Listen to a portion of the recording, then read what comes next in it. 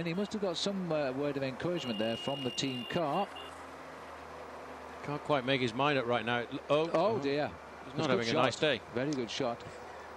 Because that's the commissaire who's seen what's going on You get, he's thrown two bottles at the commissaire. there. hit him. yeah, that was a direct shot. That they could get in trouble for that. You get a serious fine for that. Uh, Cipollini obviously having a hard time right now. There's another one of the commentators coming back here. He's trying to get across to his team car, and he's not happy about that motorbike coming through the gap here. Oh, I think that was a that was a Bullseye. bullseye. Pretty good shot for a man on the run. And shades of Tom Steels a few years ago when he hit poor old Fred Moncassin in the finish of a Tour de France. Tom was kicked out the Tour, of course, for that. Be a brave commissaire that throws out Mario Cipollini, but it's uh, it could happen. Mario's rejoined Jaan Kirsipuu. Both can speak to each other here. And this is the catch. Oh, and what's happened up the road there? Motorbike gone down or a rider? It's a motorbike. Motorbike went down. And what on earth happened there? One of the uh, one of the referees, I think, went down. I think it was the one that just got that caught the bottle. He was moving clear. We'll see.